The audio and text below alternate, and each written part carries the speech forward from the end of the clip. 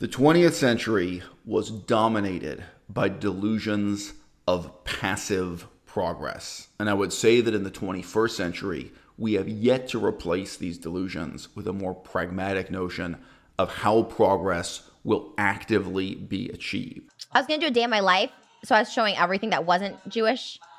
So this was something else. You did hashtag Jew Talk, Israeli, Rosh Hashanah, fish head, Mm-hmm. and traditions. Yeah, because this is like people don't know why you have a fish head at Rosh Hashanah and, and so forth. Were you disappointed we didn't have a fish head? I was so sad in Yeah, the I could tell. pomegranates. No one knew Hebrew. I was ready to speak Hebrew with people. I was like so excited about it, and it just didn't happen. So you did this one here. I love Jew Talk is now your most common. It's popular. I got free falafels here for wearing an Israel shirt. Okay, this is the one I had a problem with. Now, Okay. now Trisha, you know you can't. You says rating my Jew lunch. Uh huh. Do you not see what's the problem with that? I couldn't fit ish in there. But Jew is like a derogative. No, My Jew lunch. I think it's the way if you say it. I was writing like, oh, my Jew lunch. I can tell you with on with 100% certainty you cannot say that. It's offensive. Moses said it was fine, and he is from Israel and had a bar mitzvah. I also saw Israeli matzah meal and I got really excited because it said Israeli. And hey, my boyfriend's Israeli, so I really love them and I love you guys. If you're Israeli, like shout out, I love you guys so much. I also saw these chocolates with these cute little kids on the box, and I was like, oh, we need to get them. Then I saw even more chocolates, and I was like, oh hell yeah, my Israelis know what's up. The Jews really love their chocolates, so I also got this chocolate cereal that has some milky milk in it, which is really cool. The Jews also love wafers, which who would have known? What's in it? uh, garbanzo beans and vegetables. Oh my god. It's vegan, 100% veg- vegetable. Really? Yeah. Oh my god, it's so good. I don't know how to say that in Hebrew, but I know some things. I just don't know that. Oh my god, it's so good. I'm sure you've guessed by now that this is a serious video about a serious topic. And if you found yourself laughing at the first minute and a half, ask yourself why and what it is exactly you're laughing at, what it is that's so awkward or perhaps so offensive or so disturbing about what you've just seen. Isn't it possible that when we look at Trisha Paytas in her attempts to appropriate Jewish culture, we're actually looking at the best case scenario for the future of Judaism, of Jewishness, and of anti Semitism? That maybe the best thing we can hope for is that this just comes to be regarded as another normal culture in the same sense that South Korean culture or Japanese culture, it's, it's just another culture. Hate crimes against Jews have increased by nearly a third since 2010, according to the Home Affairs Select Committee report. And the volume and viciousness of online abuse is unprecedented. It's all news that comes as no surprise to the community.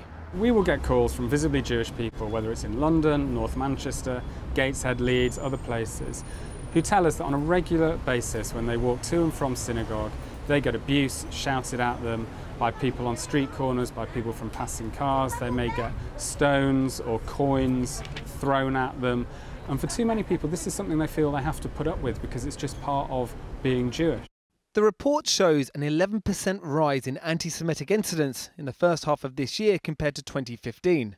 It also shows the number of people in Britain with anti Semitic attitudes rose by 50% in just 12 months. And as many as 1 in 20 adults in the UK could now be characterised as clearly anti Semitic. Daniel and Theo are barely in their teens, children who say they've had vicious hate shouted at them by grown men. We were getting onto a bus and a car was driving by, and seeing as we were wearing our suits and our kippah on our head, um, the car slowed down and shouted, "You Jewish." I was just thinking, why do they feel that way just because we're Jewish? I just felt it was unfair. In the same way that Trisha Paytas has just gotten enthusiastic about both Jewishness and the state of Israel specifically, and has started kind of collecting Jewish stuff and wearing pro Israel t shirts, every day there are white guys who get a Japanese girlfriend and start, you know, becoming fascinated with and clothing themselves with Japanese culture, going to Japanese markets, eating Japanese food, so on and so forth. Does this really represent something negative, or is there something more important for us to examine in the negative public reaction to this example? And if you want to reply by claiming that the state of Israel is in a uniquely terrible political position. Well, no, it's not unique, is it? It could indeed be said that Israel is a war torn country in a strange sort of Cold War situation with its neighbors. So is South Korea. There are many countries and many cultures all over the world that are in a war torn, politically fraught situation. Israel isn't unique. We make it unique because of the expectations that we place on Israel, because of this very strange exceptionalism that's applied to Judaism and Jewishness, even if in practice this is a form of racism, that it falls under the heading of ethnic politics, I would say that this problem is, in principle, political. How do you think your Jewish heritage impacts your vision of the world and politics?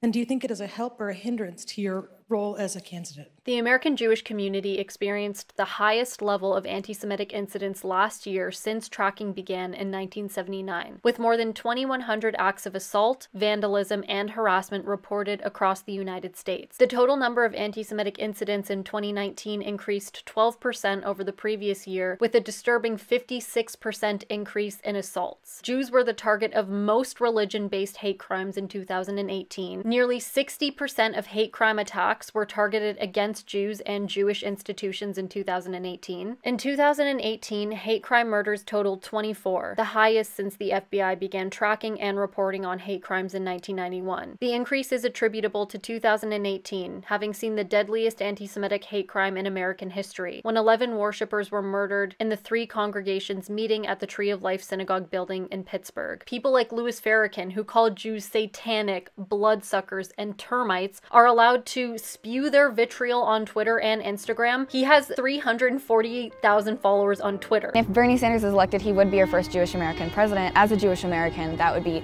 a huge step forward in this country and blow back against the rise of anti-Semitism in this country. Uh, as far as the uh, as far as the uh, alt-right anti-Semitism, I mean, as somebody who received an inordinate amount of hate from the alt-right in the last year, uh, the Anti-Defamation League named me the number one recipient of anti-Semitic tweets for journalists on the internet last year, uh, and that was largely driven by uh, the the alt-right. Um, I think that people need to understand what the alt-right actually is, and people who think they're alt-right. So not everybody who likes memes is an alt-right person. Okay, I think a lot of these I think a lot of memes are hilarious. Uh, you know, I'm, I'm, particularly fond of the Harambe memes. So there, there, are a lot of these things that I think are really funny. Uh, but I think that the alt-right did a, a, good marketing thing when they broadened their appeal because the actual basis of the alt-right movement, people like Jared Taylor and Richard Spencer, is, is essentially a, a white supremacist argument uh, that, the, that the white race created Western civilization and that outsiders to that race are threats to Western civilization. Uh, and I think that the rise of, of that movement uh, is partially driven a, as a reaction to the intersectionality theory of the left. Any Jewish people that vote for a Democrat I think it shows either a total lack of knowledge or great disloyalty. You know, they were chanting like in Charlottesville Jews will not replace us! Jews will not replace us, and then having a Jew literally replace them would be like, that would be so satisfying. You also had people that were very fine people on both sides. Tonight, a neo-Nazi in Pennsylvania, a small rural town near the New York border splitting apart by a growing movement filled with hate. The man at the center of it says Trump's election has emboldened him and his followers. It is definitely a difficult time to be Jewish right now, considering the Trump administration's anti-Semitism, and there's been a spike in hate crimes and Nazi empowerment. So on the left, you've seen the, the, this, this attempt to basically paint everybody in the United States as a member of a particular race or sex or sexual orientation. They're not individuals, they're groups. And all of these groups have been victimized by Western civilization, and therefore they have to stand up and fight back against Western civilization. And there's a group of people on the so-called alt-right who aren't particularly conservative, by the way. They're not in favor of smaller government, many of them. Right. Many of them are overtly anti-Christian, not just anti-Judaic. Uh, and they come along and they say, okay, well, if intersectionality is good for the left, why can't it be good for the right? Right? Why can't we have, uh, why can't this be true for white people? Right? If there's an interest group for black people, why not have an interest group for white people? And I think that that's, uh, the, the, that reactionary tendency gained some steam during the last election cycle. And, uh, and because they consider themselves to be politically incorrect more than just wrong, uh, they, they glom onto a person they consider to be politically incorrect, which is President Trump. Now, I grew up in Austria. I'm very aware of Kristallnacht, or the Night of Broken Glass. It was a night of rampage against the Jews carried out in 1938 by the Nazi equivalent of the Proud Boys. I grew up in the ruins of a country that suffered the loss of its democracy. My father's family was wiped out by Hitler in the Holocaust. I know about what crazy and radical and extremist politics mean. I learned that lesson as a tiny, tiny child when my mother would take me shopping and we would see people working in stores who had numbers on their arms because they were in Hitler's concentration camp. I am very proud of being Jewish and that is an essential part of who I am as a human being. What we are seeing right now, we're seeing it in America, and we're seeing it all over the world, is a rise in anti-Semitism. We're seeing people being stabbed in New York City because they were Jewish. If there was ever a time in American history where we say no to religious bigotry, this is the time. If there is any people on earth who understands the danger of racism and white nationalism, it is certainly the Jewish people. This is not my normal content. As some of you know, I am Jewish. If you didn't know that, Surprise. I've also recently decided to try my hand at making TikToks, which is when I made the discovery that TikTok is a very shitty place to be if you're Jewish. So how did I make that discovery? Well, one day I was just sitting around and I decided, you know what, I'm gonna make a goofy little TikTok about what it's like to be Jewish on social media. And the response to that TikTok was interesting. Let me show you the TikTok.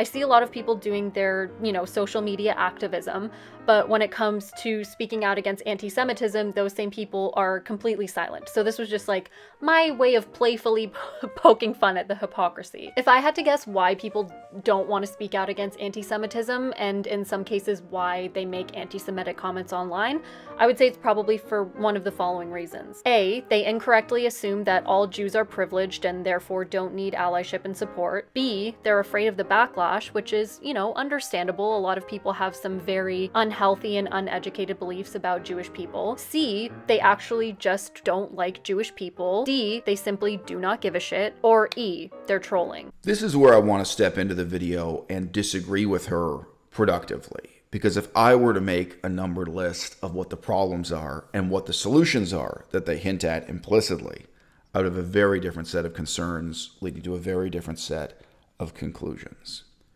a large percentage of people, I don't know the percentage, but a very large percentage of people are simultaneously fascinated by and terrified of this idea that there are secret clubs that hold political power over them, that somewhere there's a meeting of special people who discuss what Parliament is really going to do, what the Senate or Congress is really going to do, or what City Hall is going to do. And it is the abstract idea of this possibility, not the reality of the political process in the country they're living in, that they're fascinated by and that breeds these hysterical conspiracy theories. And let me tell you something there are clubs that you can join today where members of the social and political elite meet to discuss the future of your city, your province, your state, your country. The Empire Club of Canada in Toronto has an open door. They have a website, I think they have a YouTube channel where they upload these lectures. And if you join, if you pay a couple hundred dollars here and there, you can attend special lectures given by the mayor, given by members of parliament, given by influential lawyers and leaders of public opinion here in Victoria, BC, Canada, it's the capital of this province. The Union Club was the best example I could come up with. If you take a moment to look around, probably in the city you're living in or in the country you're living in, there are clubs of this kind. And if you tried to get involved positively, you might be shocked at just how easy it is to participate. And why? Because so few people care. Because the reality is they have meetings where members of this political elite come together to discuss what should happen next at Parliament, at Congress, at City Hall, or even in foreign policy or in economic planning, and nobody shows up unless they're paid to. And even when they pay, even when they pay a lot of money for someone with a PhD from the university to come and give a presentation, you'd be shocked and horrified at how little sincere interest there is in the future of our democracy. You'd be shocked at the extent to which these elites are voluntary in terms of their participation, that they're just comprised of whoever it is that wants to dedicate the time to really show an interest in the future of their polity. Very striking illustrative example here of a young woman. Uh, she was a university student in California who became an influential and important person in American politics just by showing up. She didn't have money, she didn't have connections, she didn't have a conspiracy behind her.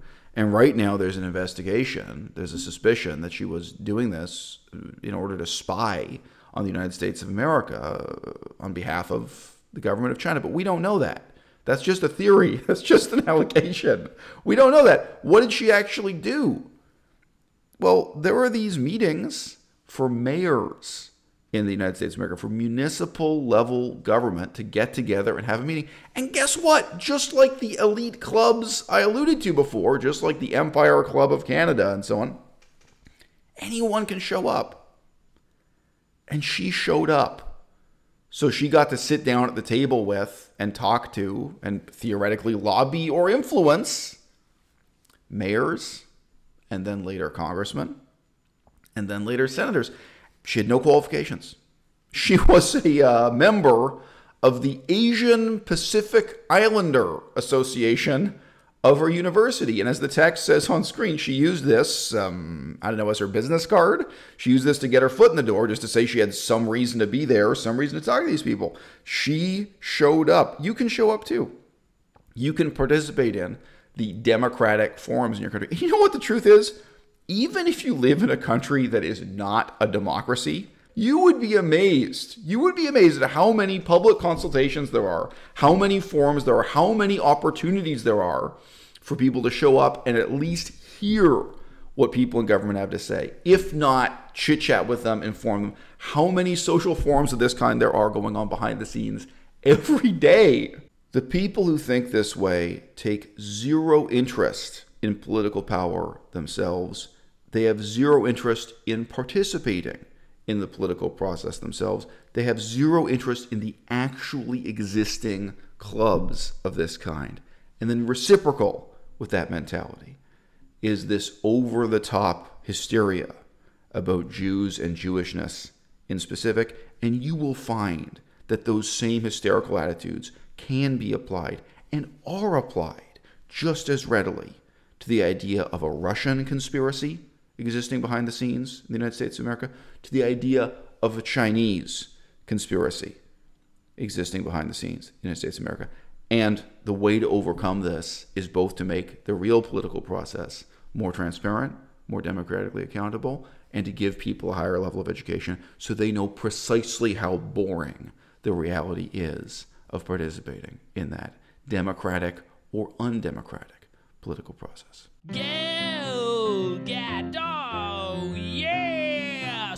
super famous Wonder Woman lady, oh yeah, Gal Gadot, Miss Israel, super beautiful woman, no whoa, whoa, whoa, whoa.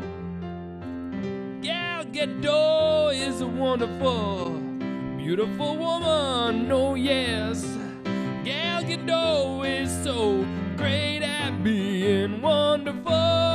Gal Gadot, she's in the Fast and Furious movies. She's a Justice League woman. The 20th century was dominated by delusions of passive progress. And I would say that in the 21st century, we have yet to replace these delusions with a more pragmatic notion of how progress will actively be achieved. What do I mean by passive progress? The idea that passively, people all over the world will get less and less racist with the passage of time. And why? Just because. Just because there's some invisible force like gravity pulling people down to earth that's just going to make people less racist, less mutually invidious with the passage of time. No particular government program is going to force this to happen. No particular decision made democratically or undemocratically. No particular direction taken on by education. Just the passage of time itself would result in the whole world becoming one, more secular, two, more scientific in their attitudes, three, more mutually accepting and mutually appreciative. I don't know. Maybe it's the fact that there were more and more Chinese restaurants in downtown New York City. People had the delusion that this alone would bring about a golden age of, um, I don't know, the unification of all peoples and all cultures around the world. It's not going to happen unless you force it to happen. And I do think, I'm Jewish myself, I do think that Judaism and Jewishness has played this unique catalyst's role in the Western reappraisal of what the nation state is supposed to be, what the future of nationalism is, and what the future of ethnicity is supposed to be. This is not only because of the Holocaust, this is the most examined chapter of the story. It also has to be pointed out more broadly. The Jews themselves, already during the French Revolution, were perceived as, in some ways, the most secular, most atheistic, most cosmopolitan part of the population. In the 20th century, it's fair to say that the idea of what an American Jew looked like and how they spoke and acted was someone like Jerry Seinfeld.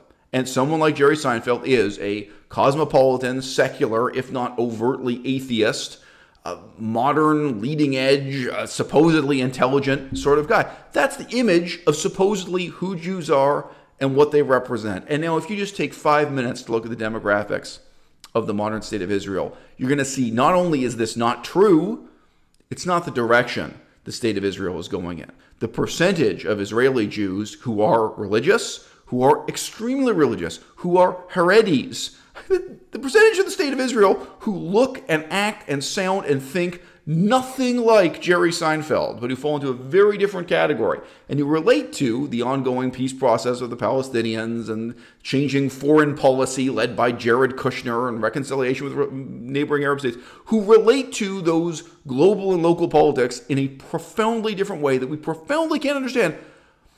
The delusion of the 20th century was that all of these problems would just passively disappear. And from the other side, anti Semitism would disappear because the delusion was the masses of Christians in the world, the masses of Muslims in the world were going to catch up with Jerry Seinfeld. That just passively scientific, cosmopolitan, secular attitudes were going to blossom for no reason at all.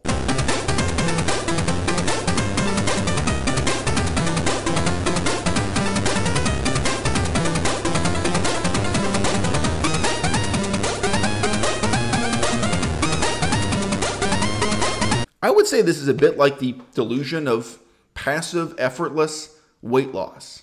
You've got to look in the mirror at some point and say, nothing is going to change unless I change it.